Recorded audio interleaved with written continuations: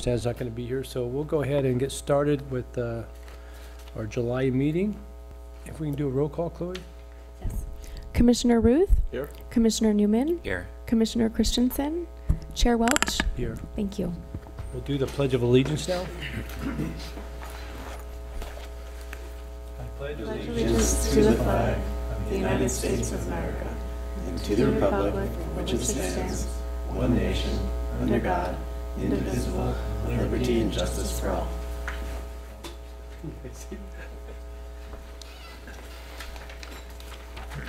Okay, the meeting is uh, cable cast on, live on Charter Communications, Cable TV Channel 8, and at and T UVerse Channel 99, or supposedly, I don't think it's actually working, but it's being recorded to be replayed on the following Monday and Friday at 1 PM on Charter Channel 71 and Comcast Channel 25.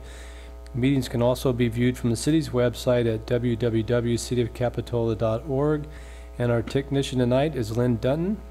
Um, And as just a reminder, if you put your cell phones on silent or vibrate, and if you do, when you come up to speak tonight, uh, if you would just give us your name and sign in, then we would have that for our minutes. So with that, we'll go into oral communications. Um, Any additions or deletions? Am I missing something? No additions or deletions this evening. Okay. This uh, time is for public comments for items that are not on tonight's agenda, so is there someone that would like to talk to us? Okay, very well. Do I go right here? Yes. Okay, thank you. I'm Cherie McCoy. I've been a Capitola resident, homeowner for 21 years, and on the board of directors of Little League for many years, and been to meetings where there's only one person and the president, maybe the secretary to take notes, so I thank you all for being here, because I know sometimes it's hard to do that. Um, My concerns are Capitola's safety of the residents and the visitors, as well as provide a little input on the Capitola Mall project. I'm going to read to keep myself focused, so I hope that's okay. Okay. In 2005, the red light runner cameras were installed at 41st Avenue and the Capitola Mall entrance.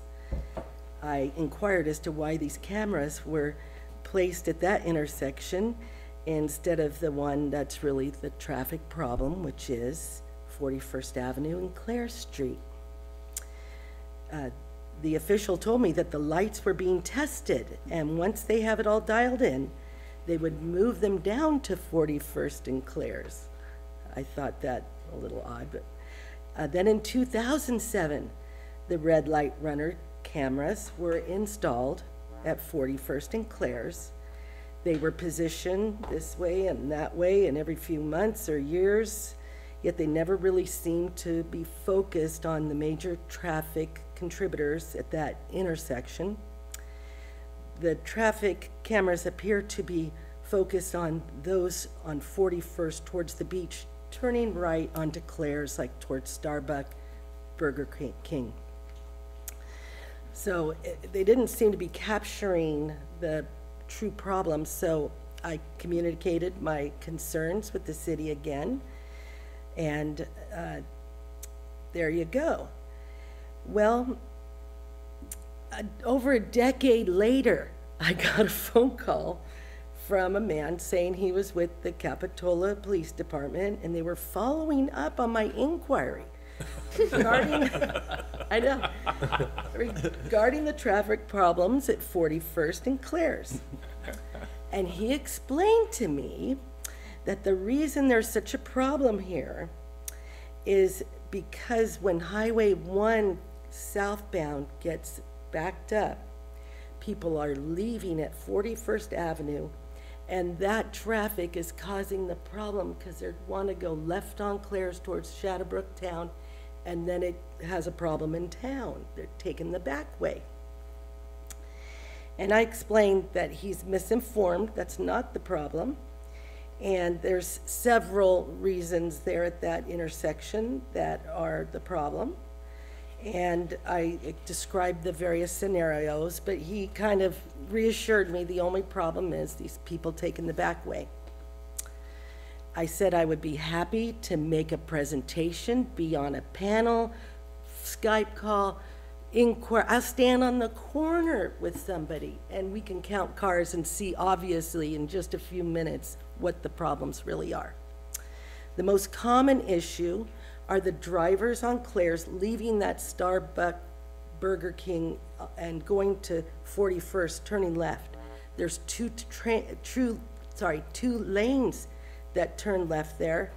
And you can regularly watch the people run the red light, one car, two car, three car, four cars sometimes.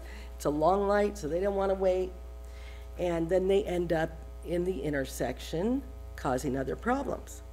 And I've looked at it and I think the yellow light is actually not long enough because you usually have people stopped for the light to go. And then uh, from a stop position, getting through that hump and turn, uh, it's, it's just, these people can barely go and the yellow light goes and now they're going through red light. So another problem with this intersection is those uh, heading on 41st and they're going to turn left on Clares. This is away from Highway 1. And because those other red light runners I just spoke about are in the middle of the intersection, these drivers wanting to turn left cannot proceed. Some of the drivers are allowed to make a U-turn, so they're kind of stuck in this little mishmash of cars. And then the people who are turning left at Clares sometimes can't because light turned red, you gotta wait and wait for the next signal of lights to process. And hopefully, we don't get the same problem, which we usually do. Um, So, another factor is drivers who are heading on 41st towards Highway 1, and they know it's a long light, and they will run the red light or proceed in the intersection when it's not clear, so you have that batch of people causing issue as well. There's yet another factor, and those are the people coming from, on Clares, let's say from the Shadowbrook towards 41st, and they don't want to miss the light either, and they go really fast and almost get air trying to get up there. And um, it makes it dangerous and uh, adds to the problems in that corner. So a few months ago, after that strange phone call from the police department, a woman named Cynthia Carey of Mount Hermon was killed at that 41st and Clares intersection. News reports state that her car was stationary in the middle of the intersection when she was hit by a van and slammed into a bus. Okay, on a happier note, I am all for the Capitola Mall, all overhaul. I think it's great that the city has responded to the survey of folks who live here, and they need a great entertainment complex, complete with park space, more restaurants, new stores, the Metro Center moving to a more efficient location in there. Maybe the Ross and Trader Joe's can go in the big new mall. Bring it on. However, the proposal for the developers is to include 630 living units in the trendy mixed-use style, very similar to Santana Row in San Jose. I understand the city is required to provide additional living units to accommodate population growth. Remember, this is a small city of 1.68 square miles, about 10,000 residents. So we already have this issue at Clares and 41st. What is it going to look like with 630 more living units? And uh, I'm sure people think that they should ride the bus, ride the red bikes. There won't be an impact, but there certainly will. So I've studied the Capitola City website, just looking for information everywhere I could. And I was dismayed to learn that the Traffic and Parking Commission had dissolved in January of this year. And uh, with these two huge things, the hotel down in the village and the problems we have there, I think that there needs to be um, a good focus on this. I'm not sure, you know, who does that kind of thing. Uh, The studies that they've done on those cameras is admittedly flawed. Uh, They don't really capture all the information. It mostly turns with red light runners, right turn. This seems to be the study all about. They even said, why did you put those cameras at the mall entrance in 41st? That makes no sense. There were no collisions there for the five years prior that we studied. So I don't, I still can't explain why those uh, cameras were put there first. But I'm here to say, don't be seduced by the dollar signs that developers may promise and uh, filling, loading our mall up with living units, and take a careful look at the traffic problems that already exist. Thank you, thank you for the opportunity. I appreciate it. Do you have any questions? Uh, No question. It was it Miss McCoy? Is that- Yes. Um, Thank you for coming. Well stated. I understand exactly what you're um, relaying to us. Um, One of the things about not having the Traffic and Parking Commission uh, anymore, an advantage, I guess, if there is one, is that it's one step for you to go straight to the city council instead of them telling you go talk to the Traffic and Parking Commission. I think your um, points would be, um, you know, well-deserved to be heard by the, the city council. So um, I would recommend that you go there. I, I guess our staff can pass on the information as well to our other city staff, but thank you for your time. It was Thank well you. stated, and you will have plenty of opportunities before the mall um, gets built to, to share your concerns again, I'm sure. Thank you. Bring you. on the Prada. Yeah. It's okay. Okay. Thank you very much. If you speak to the city council, I've witnessed all those things you've said out there. Exactly. I would, I would ask the city council to seriously consider synchronizing the lights on 41st Avenue and getting Caltrans to participate, because Caltrans controls the lights at 41st and Gross. And if they could synchronize all those lights, traffic might move a little better. Very good. Thank you. Thank you. Okay, do we have anyone else that would like to speak tonight? No? Seeing none, we'll uh, bring it back in for staff comments. Oh, I guess commission comments. Do we have anything from the planning commission?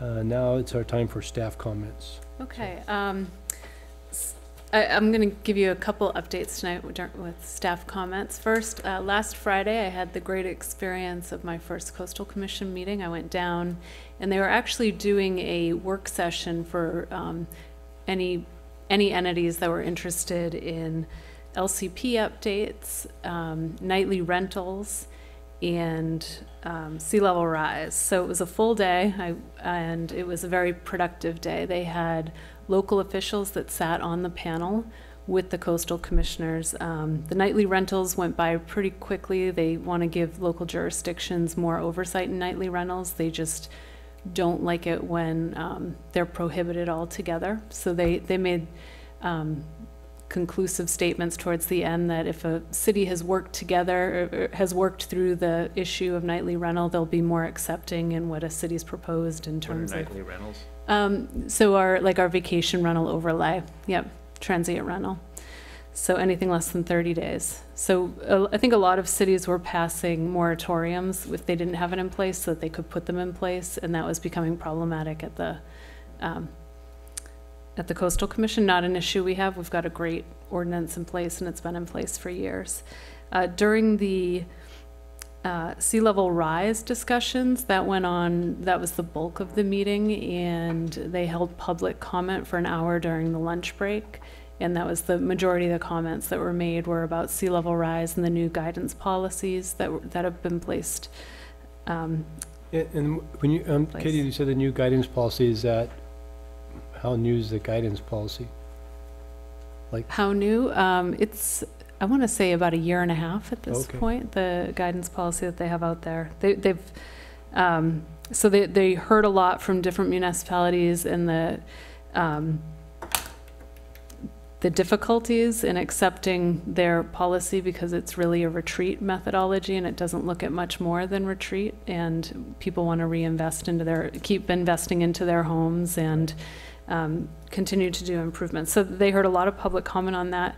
They also talked about LCP updates. I, I didn't realize how much work has been done on LCP updates and working with staff ahead of time before the um, LCP submittals occur. Their, their um, average time for reviewing LCPs was previously, I think they said 480 days.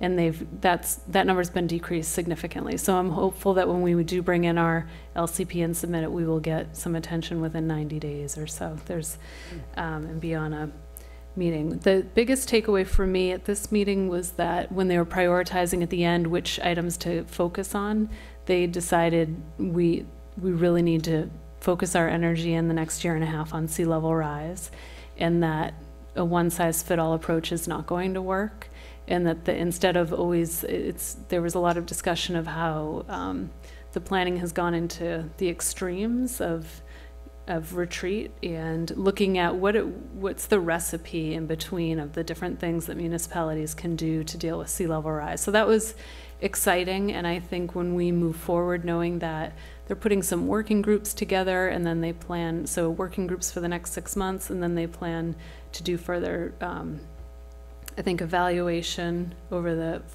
next the, a year from the six months. So they're going to be focused in on sea level rise for about a year and a half.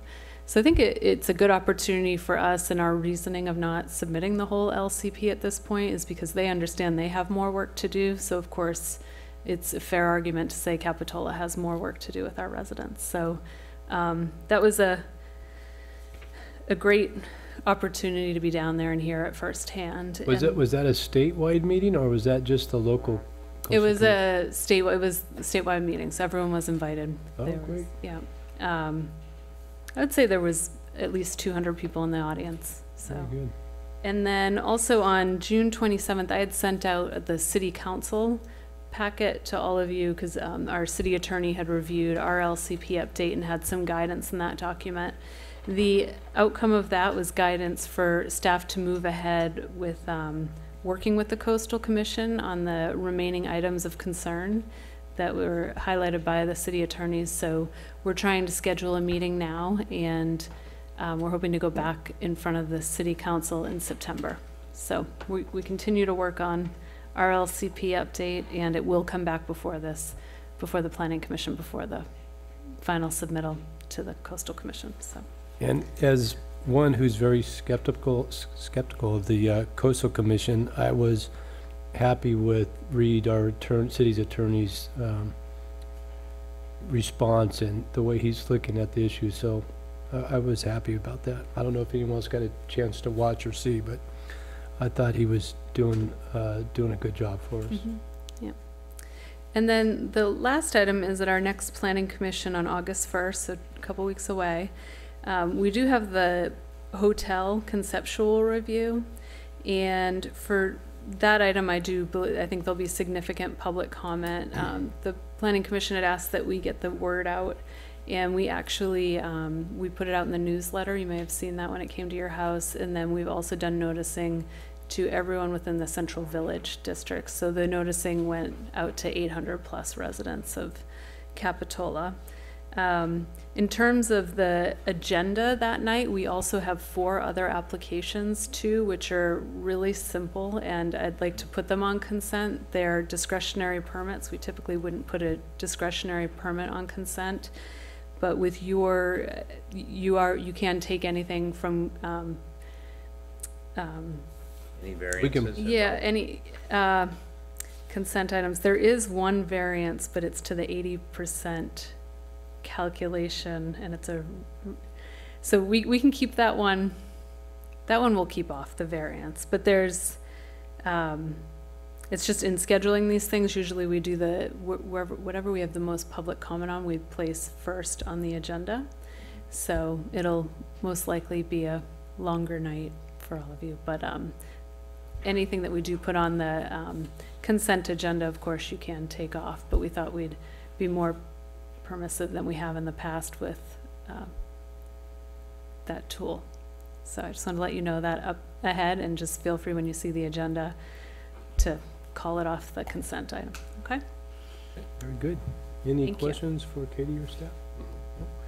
Okay, um, we're, next we'll move into um, the presentations. I guess Chloe's going to talk to us about the social media use that the city council uh, adopted. Yes, thank you. I'm um, using our wonderful gentleman here to move forward through the slides, so just bear with me. Thank you. Thank you, Chair Welch and Planning Commissioners. This is just a brief presentation about a recently adopted um, administrative policy that um, Council approved on June 27th. So it's regarding social media and elected and appointed officials such as yourselves. Um, You can go ahead. Thanks. So staff identified a need for this policy to establish best practices for how elected and appointed officials use and engage with social media. And um, it was set up just to really provide guidelines for best practices and to keep everybody out of trouble. We want, you know, your behavior on social media to still allow you to participate in your decision making and your voting on commissions such as the Planning Commission. So, um, as we know, our constitutional First Amendment, it defines every citizen's freedom of religion, speech, press, assembly, and petition. So your, your free speech to express yourself on social media is protected by the First Amendment, and this policy is not intended to revoke that or take anything away from commissioners. It's, it's designed to acknowledge complications that can arise by certain types of behavior so that we can avoid them so that everybody's happy, basically. So, just to go over the Brown Act really briefly, um, it's a law that it regards how public meetings are conducted and it's promoting open and transparent government. So that's important because any type of board or commission that falls under that Brown Act, the people on those commissions are who is being kind of regulated by this policy. So anybody on a board or commission that is subject to the Brown Act is who the policy is written for. Okay. And,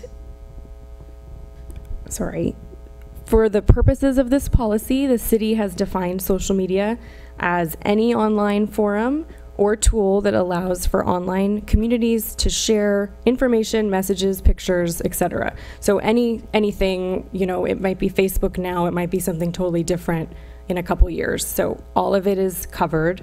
And most importantly, any type of social media account is also kind of regulated by this policy in the sense that even if your username doesn't directly link you to your role as a city official, these guidelines should still be followed. So if your username is, you know, Mayor Joe or Joseph, either one should follow the same guidelines.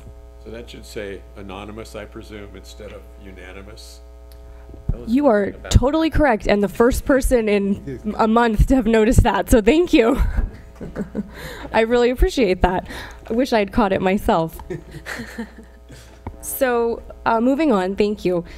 The, another important factor that determines how your behavior should change is the type of city hearing you might be creating content about. So there are two different kinds. There's quasi-judicial and legislative. So quasi-judicial applies rules or standards to an individual, a single project, or a circumstance, whereas legislative is establishing public policy or regulating a group of people or properties. So the Planning Commission, for example, does have both of those types of hearings fairly frequently. You might have more quasi-judicial decisions, such as the vote later on 511 Escalona, whereas legislative is more, you know, approving zoning code updates, things like that. And if, if there's a confusion, an easy way to think about it is to ask yourself, does my decision right now affect one or many? Thank you. This is the bulk of the policy. Uh, it's just kind of designed to be a visual representation of appropriate and even um, encouraged behavior to the left, moving on towards the right to what's strictly prohibited, d- definitely against the policy. And then the second row is um, the actions that should then be taken if behavior has already occurred. Um, so if we have questions about specific items of, the policy, we can discuss those at the end of the presentation. Thank you. So these are some examples of encouraged engagement. These are um, actual posts from jurisdictions out of state.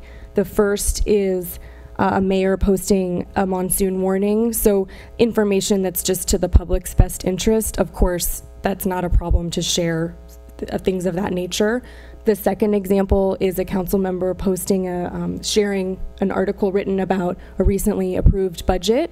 Again, that's a legislative decision that had already been passed. That's not a problem either to kind of just share what's been going on in the city um, in which you are a part of. Thank you. Uh, these are more problematic. Um, and they are fictional. I've, I've invented these, so no one here is in trouble for posting anything like this. Uh, the first seems okay at first glance. It's a council member asking the public their opinion on a proposed city park, a city project. The issue with that is the solicitation of public opinion online that creates a lot of ex parte communication that would then need to be disclosed at the public meeting in which the voting and the decision making is going to happen about that item. And it's really becomes a tracking issue for the city more than anything else. It can kind of spiral. There's not an easy way to just shut those comments off.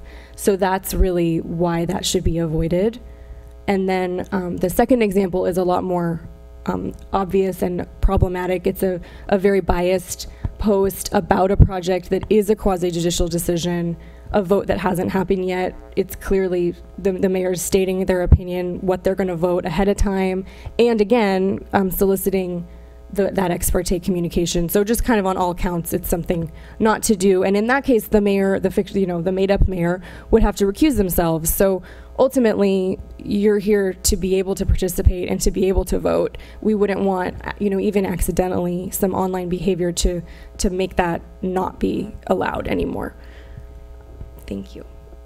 So just again, going over the, the types of problematic engagement I already talked about, and also pointing out that part of the Brown Act also does um, discuss that conversation about quasi judicial matters in particular should happen in public meetings. So if multiple council or board members are posting online, it could become a serial meeting really easily, which is a direct violation of the Brown Act, and we wouldn't want that. That often can happen on accident online, so just to avoid that is, is the best thing to do.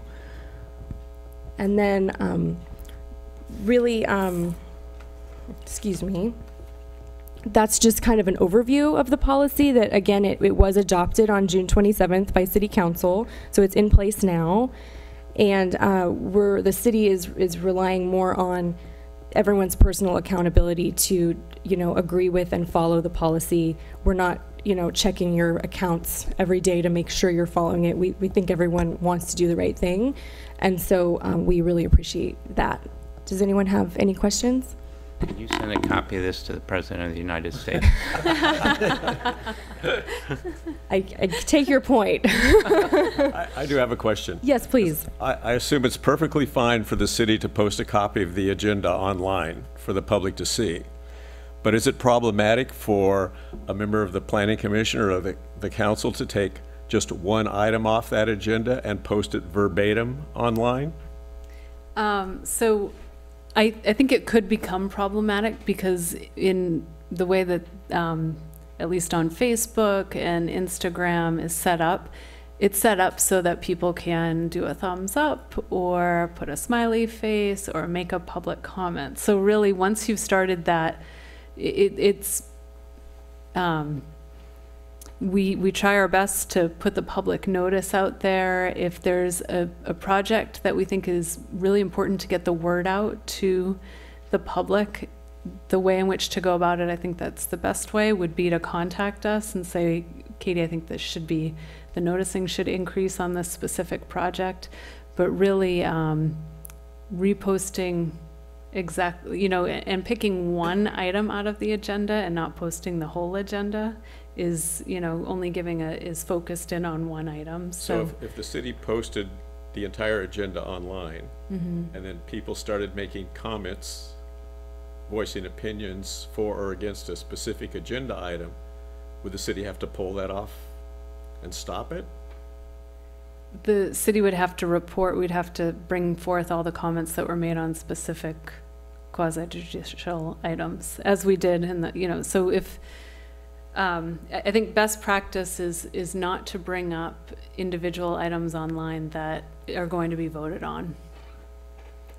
You know, if it's one, it's one thing if the city is looking at traffic calming in the, in the jewel box, because that's not an item that they're vote, you know, they'll be voting on improvements, but it's not going to impact one applicant. It's a city program. So that, that's absolutely fine. But in this, for the planning commission, when it comes down to um, individual items, it's just, it's a methodology in which you're, you're gonna most likely get public comment, and it just makes, it, the public comment should really be entered during, you know, this meeting, or they can follow the correct areas of um, submitting public comment to My- the My city. personal belief is the city could do a lot more to be more transparent about the various applications that are pending before the city are going to be making decisions on. And unless you post your agenda online, there's very little avenues for people to see that. I mean, they can go to the city website and look at it, but that's about it. It's not published in the paper anymore that I know of. It is, So, well, in the Sentinel? in the Sentinel. Yeah, well, you know, what are there, twelve thousand subscribers in the entire county? So, you know, I, I ju- I just think we have to do more to make it transparent, and if people start commenting on it, I think that's, that's the part of transparency. So I do see this evolving over time in terms of like getting the agenda out and where people are moving more um, onto online and different formats, you know. So I, I don't think, I think this is very new. We're actually one of the first cities to put out a policy. We were looking, we were kind of shopping around other policies out there and there really isn't much to go by. So I think this is very much in the works, but you're exact, you're correct. We do need to figure out with all these new tools that are out there, how to get the word out and how to get the, keep the public engaged. But for this purpose of uh, protecting you within the Brown Act and being able to vote on items, at this point, we're recommending not, not posting individual items that will be decided upon. But So it's interesting to me that this, uh, the technology is now taking us to a place that's different from where we have been historically as far as the way we operate our plan, both planning commission and city council. And I think it's a good thing, but I think we have to work our way backward from technology back to the old school, uh, methods of communicating and try and follow the same rules. And what I'm thinking of is that it's been historically in Capitola not only permissible, but um, almost necessary if you have a project to contact individual planning commissioners or city councilmen and talk to them and have them come over and look at your property when nobody else is around. And I've always, I've always uh, rejected all communications outside of the public hearing and said, if you have anything to tell me, I want you to come and tell me in front of the public so everyone can hear it and respond to it. And so I think this is moving us in that direction, which I think is the right direction, that it shouldn't be individual communications uh, as it has been historically, outside of the hearing. Yeah, I, I, I think Katie said it well, this is like, uh, I, I think when, when I heard this first presentation, when I went to the city council meeting to hear about the coastal commission update, this, uh, Chloe presented this, and, uh, it's like a, um, they, they were concerned about putting the wording too stringent in there, because I think it's gonna change throughout time, because I agree, I think we need more transparency. Uh, it, it- it's interesting, when we talk about, we put out to maybe hundred residents in Capitola about the, uh, hotel in the village, but really, it's going to affect much more than eight hundred people, so how do we make sure people are aware so they have an opportunity to co- comment? At the same time, there's a due process for people who are putting the application in, that they have an opportunity to respond, uh, and not let it get away from input, um, from others who maybe won't attend or will attend, but that whole comment process I see is, is a concern about letting everyone have, uh, an opportunity to respond, uh, comment and respond to those comments, so it's a start, I guess, and we'll see where it goes. I can see this changing though as we look at some of the, uh, other social media formats out there. And, and Nextdoor is a great tool. I mean, there's more people in Capitola who use that that read the Sentinel, for example. I, I have no social media other than Nextdoor just to stay aware of what's in my community. So I can see this morphing as time goes, goes on, but. Good. Any, any other questions for Chloe or staff? Thanks, Chloe. Thank you. Okay, that moves us into item four A, um, of our approval of our minutes from our June sixth meeting. Move approval? Second. So we have a motion and a second. All those in favor? Aye. Aye, and that passes unanimously. That moves us to item five, which is our consent calendar. We have one item on our cons- consent calendar. The consent calendar is really designed to pass these items with, uh, with one motion, uh, not necessarily with discussion, unless someone would like to pull that item from the audience or one of our commissioners. So, no one wants to pull that? Do we have a motion? Motion? Okay, I'll second it. Okay, so a motion and a second to approve the cons- consent item. All those in favor? Aye. Aye. And that passes. So that moves us to the public hearing. We have one item. I need to recuse myself of, due to proximity, because I live uh, close to the residence, uh, at 511 Escalona. So I will say goodnight and move on, and Right. Commissioner Newman will take over from here. So thank you. See you on August 1st. Yes.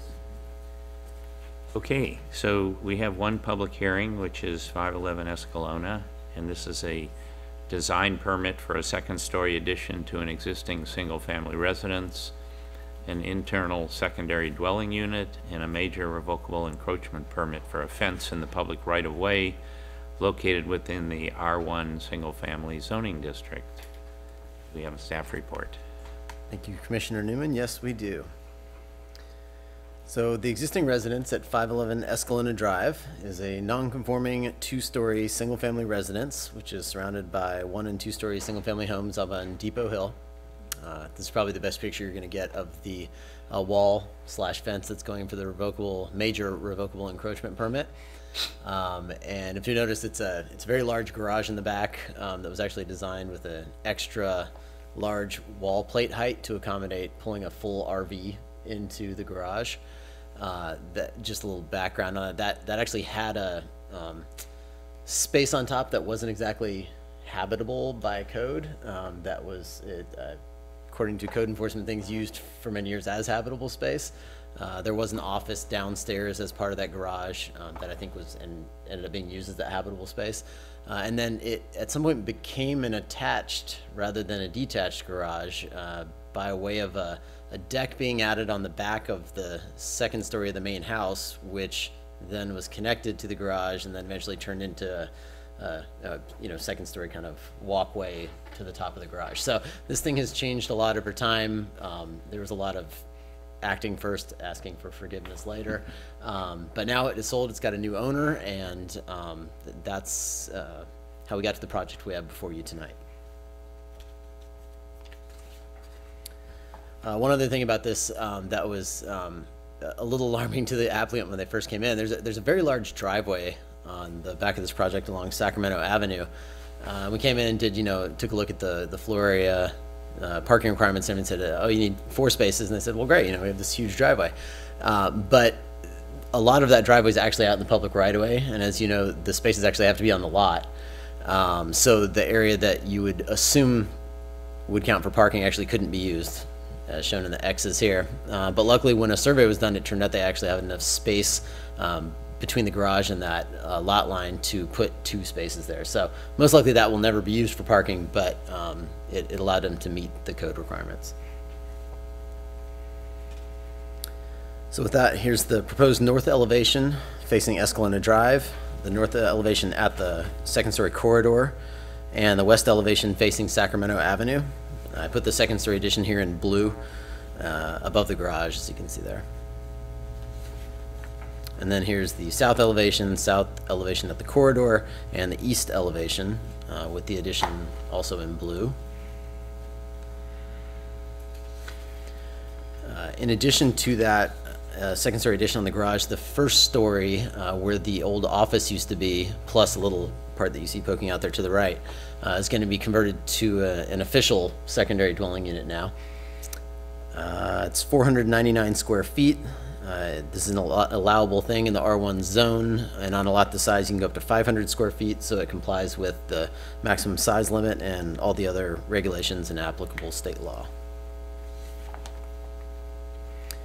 Uh, In addition, we have a major revocable encroachment permit for the fence slash wall out front along both Escalona Drive and Sacramento Avenue, shown here in blue.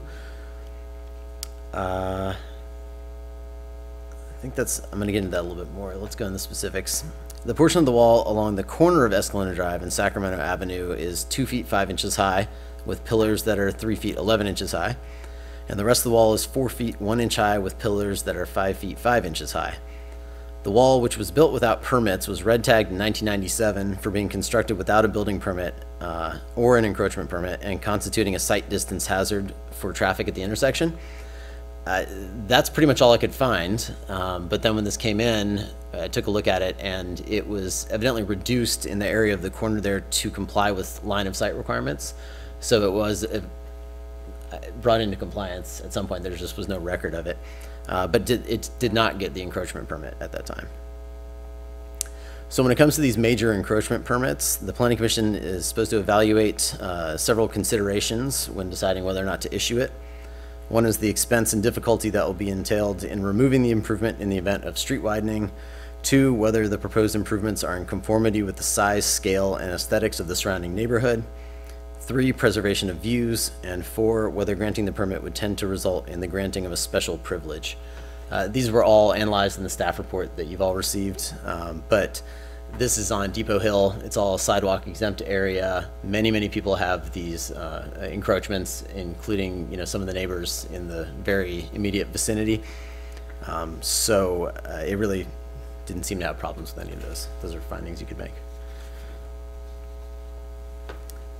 Uh, This property is located within the coastal zone, so therefore it's subject to the, what we call the old zoning code, the 1975 zoning code, rather than the current one, which is in effect outside of the coastal zone. The addition to the attached garage includes a 372 square foot flat roof with a parapet wall, which is pretty clearly designed as a, as a deck, um, shown here in red. But the problem is this proposed structure is only seven square feet under the maximum floor area ratio for the property. So that flat roof cannot be used currently as a deck, uh, because it counts towards floor area under the current code. Uh, or a, a large portion of it would, some of it would be exempt, but uh, under the new code, however, second story decks like this won't count towards the floor area, so it will be able to be utilized for that. So, uh, the original submittal included tall windows with a bottom edge close to the floor that could provide easy access to the flat roof so that it could be used as a deck. Uh, you might remember similar situations, uh, like over on Saxon, where this was an issue that we dealt with somewhat recently. Uh, In those cases, the planning commission has restricted access to these unpermitted deck areas by only allowing windows that are at least four feet off of the floor on walls adjacent to those flat roofs. In this case, however, the proposed windows are egress windows, so they cannot be four feet or 48 inches off the floor. However, following the Architecture and Site Review Committee meeting, they were able to amend the plans and get them 42 inches above the floor. So it's, you know, within six inches of what we've asked for previously, uh, which uh, seemed to meet staff concerns about it, if, if you're okay with that. Uh, If they do want to use that in the future, by the way, they can do it, but they will have to come in and get a permit from the city to use that as a deck. So they will have to come back and get I mean, permission. after the new code is. Yes. Uh, Another concern we had when this first came in was uh, the potential for the upstairs addition on the garage to be used as a potential third unit. Uh, If you take a look just at the way it's designed with, you know, a couple of bedrooms, a full bath, a kitchen area that's, you know, designed as more of a kitchen than, say, a mini bar, uh, and a living room with an external, a stairway that at the time provided external access, uh, it just looked like something that had the potential for maybe some abuse under the uh, uh, short-term rental, let's say. That's shocking. but it did, com- but it did comply with the code, so it put us in a little difficult situation. Uh, we brought that up at the Arch and Site meeting, discussed it, and it provided some um, some things that would make us feel a little more comfortable. One was including conditions about you know, limiting the kitchen to a mini bar slash convenience area, so we've included conditions related to that.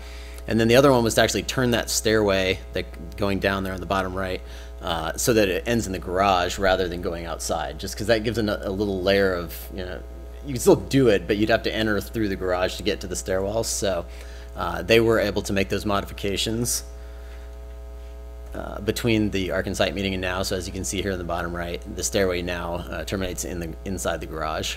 So you would either, you'd probably, you'd have to go out actually through the garage doors to get outside from there.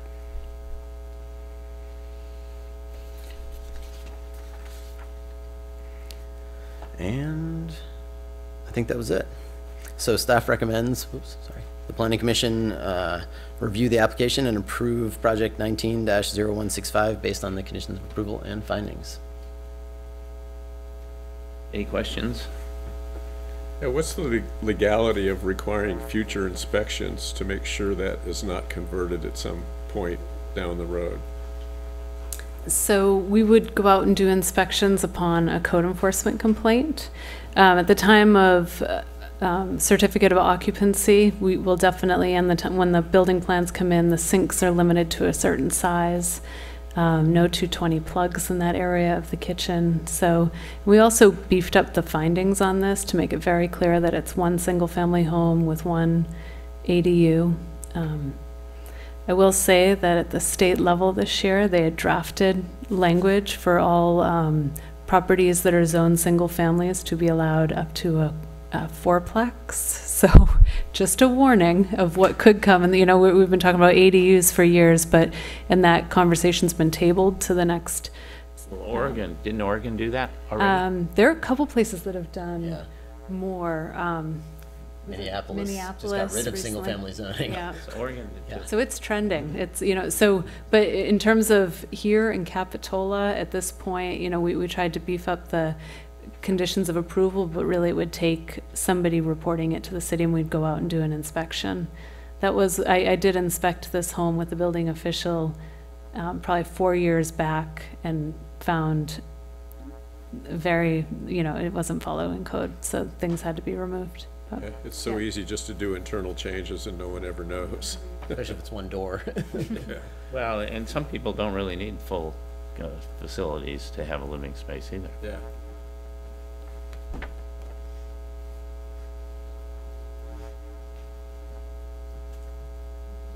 And the applicant is here, by the way, so if Any you'd other like to. questions? If not, Yeah, I, I What- can, I can address all. well, oh, all. oh, I'm a procedure guy. So now we're gonna open the public hearing. Anyone who would like to speak, well, first the applicant. And you come up and, and uh, that way everyone can see you at home. Come up to the microphone. Yes, If you want to please. talk, yeah, you have to go. I think you came here and you sat through all the rest of this and uh, you should uh, have your opportunity. So Christine Meserve, the owner at 511 Escalona. Um, i- We understand all the concerns with, with that back area unit, and really, the only way that this property even remotely made sense, especially given the cost to cure what the previous owner, all the mayhem that was going on in that property was crazy, um, was to make it more than a two-bedroom. And it's not just a two-bedroom, it's a, it's a master bedroom and a very, very, very small second bedroom. So the only way to make it even feasible for a family is to take that other area over the garage and connect it to the front house and be able to obtain a reasonable amount of space for a family. So. Does anyone have any questions for the applicant? If not, have- oh, go I have ahead. a question. Um, are you, is your intention to make the portion of the flat roof into a deck in the future? i- if it gets passed such that we can have a deck, that is one of the um, few places on the property you actually have ocean views. Yeah. Or peekaboo views. And so it, it it would be wonderful if we can do that. Obviously, it's subject to whether or not the plans get passed. Um, If, if we can put our dollars to work right now and achieve, you know, some of it while we're already tearing it up and ripping it open and all that other stuff, fantastic. But we recognize we're putting in windows, we recognize it can't be used. Um, and hopefully someday, maybe it can. Anyone Was- else? Thank you. Do you have another question? I kind of, I was wondering if it was a major concession on your part as a homeowner to put the higher windows, to have the 42 inches You know, instead of the lower. I, I don't, I don't think so. Um, I mean, obviously you want as much light as you can get into a property, right? Yeah. Um, I think, what was, what were they originally? Uh, I forget, but Yeah. a little bit lower. A little mean, bit lower? yeah. Okay. Yeah, I mean, it wasn't a, a huge concession. Um, I was probably more um, looking to make sure the size of what we do have is something that, should we be given the permit to change it out, that we could easily change it out later and, and again, just diminish future costs. Gotcha. That is if I can afford to keep it after I do everything. We did confirm with the building official too that uh, it's relatively easy to switch over as long as you have the windows at the right height when they're installed the first time. Then it's easier to go from that to a door. So it, you know, moving the bottom wasn't as big of a deal as if we had asked you know to move that top. I, I will say, every neighbor and every person that's come by the property, they all say the same thing, which is, thank God you're doing something with it, because it's been like that for twenty-something Oh. years. Yeah. And, and we're, we're, I've, I've spent more money on this property than I have on any property I've done on planning and trying to get it to work and trying to get it to, to be something that's really, really great, um, when it's done. And, um, obviously the current footprint didn't make that easy, right? So we, we really spent a lot of time and energy coming up with a good solution for the property. When did you, uh, when did you get the property? Uh, almost exactly a year ago. And how big is your family? So me and my daughter, and then my mom will live in the ADU. So I looked for almost three years for a property that could have a workable ADU for the purpose of moving her in. But then we also have extended family that I'm kind of the host in the family. Well, every application we get now has an ADU, so Oh, it's gonna be easier to find, Yeah, yeah. I guess, I guess. I looked for a really long time. Um, yeah, so that's, and if you knew my family, you'd understand why you want them over. That's, that's on television, you don't want to. Okay, thank you. Anyway. And uh, seeing no one, that, that's all, I guess. Thank you. Thank you. And I'll close the public hearing and uh, comments from commissioners. Anybody? No comments? Comments? I'd move uh, approval of the application. I second. So, uh, my, uh, I just have a little speech to give here, which is about the uh, extra dwelling units in, at least historically in this house. I mean, it's obvious that that was used. But, I mean, the way things are going now in California and the need for additional housing and the loosening up of all the rules, I'm kind of having to rethink the strictness of my position on these things. I mean, we've, we've all known in Capitola, everyone, on everyone's street has somebody living in a garage someplace. I mean, it's always been that way, but it's intensifying now, but it has to because, uh, there just isn't enough housing. And so, I guess, um, I guess I'll call for the vote. All in favor? Aye. Aye. Okay, so that passes with the conditions uh, as proposed by the uh, staff. And Great, thank you. I think that's, uh, that's the last of our public hearing. We already did the director's report. Do we have any commissioner communications that haven't already been given? Okay, we'll see everyone on August 1st. And the meeting adjourned. Thank you. Thank you.